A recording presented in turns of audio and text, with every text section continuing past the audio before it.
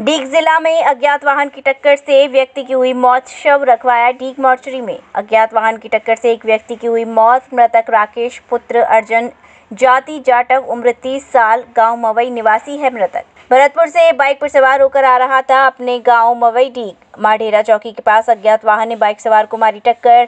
मौके पर पहुँची सदर थाना पुलिस। पुलिस ने मृतक के शव को रखवाया डीग चिकित्सालय की मोर्चरी में टक्कर मारने के बाद वाहन चालक हुआ फरार। पुलिस ने परिजनों को दी सूचना, मौके पर पहुँचे परिजन।